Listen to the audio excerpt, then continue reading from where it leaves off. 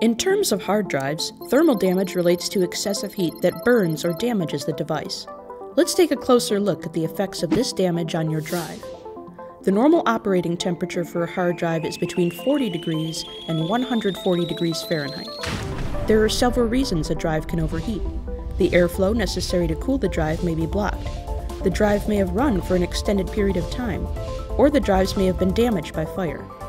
Heat exposure can cause damage to the internal parts of a drive and demagnetize the platters. This level of heat is known as the Curie temperature. If a drive's platters are heated past this point, data loss will occur. When our engineers receive a thermal damage case in the lab, we begin by thoroughly cleaning it and decontaminating the magnetic platters. Secure Data Recovery has had success in recovering data from thermal damage cases when other companies have failed. Call to start your case today.